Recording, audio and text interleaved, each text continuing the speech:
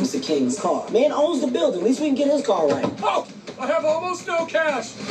It's just nine thousand dollars. Got your keys. Just so you know, I would have done the same thing if you were white. That's good to know.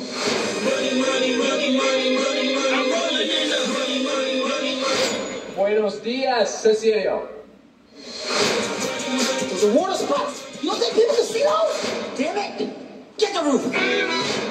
James King. Yes? You're under arrest for fraud and embezzlement. I have faith that the justice system will exonerate me. I sentence you to 10 years in a maximum security prison. Did he say 10 years? My life is ruined. Because after 30 days, I'm going to prison.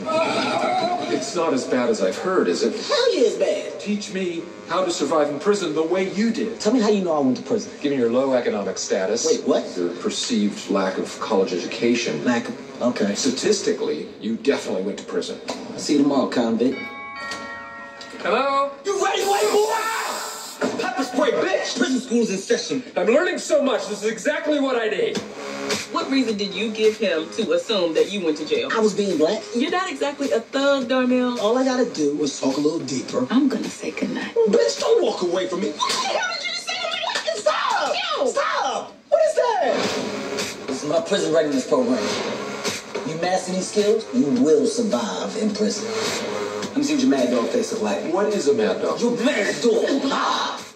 What are you doing, James? Sad dog in you. I think that's a strategy that could work. Please don't sexually assault me. I'm already too sad. I go hard. Will it survive? Never deceased.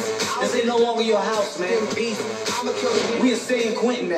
You're in the wrong part of the yard, white boy. You lost this, say? I'm very Then confused. go back where you belong. I don't know where I belong. I know where you belong.